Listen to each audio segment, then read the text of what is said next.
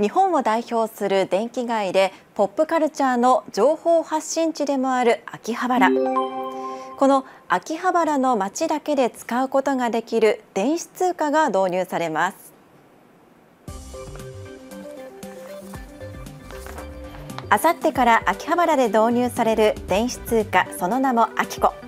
アキコは QR コードを介して非接触でコインの利用獲得が可能な通貨です。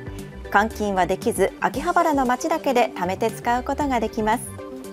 例えば提携する神田明神に訪れるだけで1日1回50秋子を獲得。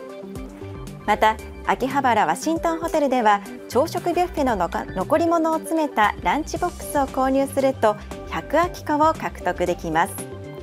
一方でたまった秋子を使うときは？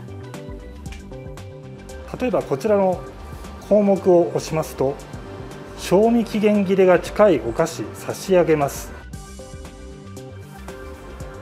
すいません、はい、こちらの体験をしたいんですがはいかしこまりました。お菓子の交換ですね。スマートフォンでアプリの画面を見せ店が QR コードをスキャンするだけで売買が成立します。お待たせしました。こちら商品のお菓子になります。こちらのお菓子いただけました。その他神田明神で買ったお守りを提携のメイド喫茶に持っていくと。